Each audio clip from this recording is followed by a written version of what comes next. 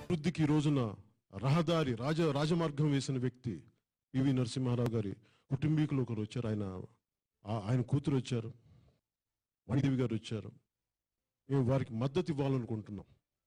అంటే నేను వారి వారి ఆలోచన నేను గౌరవించాను. మీ ఇష్టం అని చెప్పాను నేను. ఎందుకంటే నేను ఇది ప్రజాస్వామ్యం. మీ ఇష్టాన్ని నేను చెప్పగలను తప్ప నా ఇష్టాన్ని మీ మీద రుద్దను.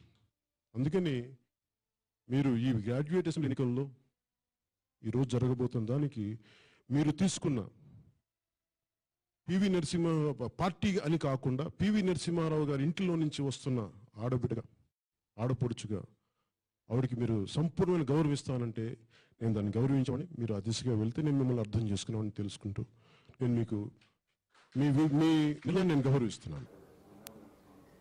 పొత్తు విషయంలో ఎప్పుడు చర్చించుకోలే ఇంతవరకు మేము. సరే వారికి ఇబ్బంది ఉంటే సరే ఎవరు ఇబ్బంది పెట్టినరో కొన్ని ఇబ్బంది ఉంటే నా తీసుకొచ్చిన తీసుకొచ్చినా లేకుంటే కేంద్ర నాయకత్వం తీసుకొచ్చినా కూడా మేము సర్దిద్దుకునే వాళ్ళం. ఎన్నికల తర్వాత వారికి లెటర్ రాసిన నేను పవన్ కళ్యాణ్ గారికి నేరుగా కమ్యూనికేషన్ లేదు. వారితో నాకు సోషల్ మీడియా ద్వారా కృతజ్ఞత చెప్పినాము. వారు దాన్ని కూడా రిట్యూట్ చేశారు వారు కూడా సంతోషాన్ని వ్యక్తం చేశారు జనసేన కార్యకర్తలను కూడా సంతోషాన్ని వ్యక్తం చేశారు దానిలో ఏం అనుమానం లేదు. నిన్న త్రీ డేస్ బ్యాక్ కూడా సోషల్ మీడియాలో వాళ్ళు భారతీయ జనతా పార్టీ వ్యతిరేకంగా వివరించినప్పుడు కూడా నేను ఐటీసీల వల్ల వాళ్ళ నాయకులతో మాట్లాడినా. కొంతమంది పవన్ కళ్యాణ్ గారి యొక్క ప్రధానమైనటువంటి వ్యక్తులతో మాట్లాడడం జరిగింది. పోయి నేరుగా కలవడం జరిగింది. ఇబ్బందులు ఏంటంటే రెండు మూడు విషయాలు పీ- పార్టీ నాయకులు కొంచెం ఇబ్బంది పెట్టినట్టే సరే ఆ ఇబ్బందులను ఏమి ఇబ్బంది వచ్చినా కూడా మనం కూర్చొని మాట్లాడుకుందాం. సరిదిద్దుకుందాం అని చెప్పి చెప్పడం జరిగింది. చెప్పిన తర్వాత ఈరోజు సడన్గా రేపు ఇవాళ ఎన్నికలు. ఇవాళ ఎన్నికలు వెంటనే సరే ఏ ఇబ్బంది ఉన్నా కూడా వాళ్ళు కామ్గా న్యూట్రల్ ఉంటే బాగుండేది. ఇవాళ జిహెచ్ఎంసీ ఎన్నికల్లో టీఆర్ఎస్ పార్టీని ప్రజలు వ్యతిరేకించారు. దుబ్బాకలో ప్రజలు వ్యతిరేకించారు. ఈ ఎమ్మెల్సీ కూడా ప్రజలు వ్యతిరేకిస్తున్నారు. అటువంటి ప్రజా వ్యతిరేక విధానం విషయంలో టీఆర్ఎస్ పార్టీకి మద్దతు ఇవ్వడం కొంచెం బాధ అనిపించింది మాకు.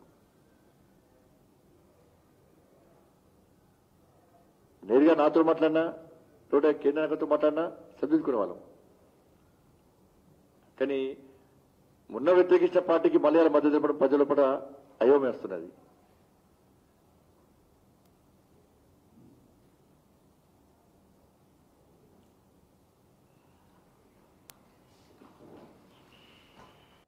పవన్ కళ్యాణ్ గారి ఎన్నికలు జరుగుతుంటే తెలంగాణలో ఎమ్మెల్సీ ఎన్నికలు పదిన్నరకో పదకొండింటికో వచ్చి అక్కడ టీఆర్ఎస్ అభ్యర్థికి మద్దతు అంటాడు ఆయన.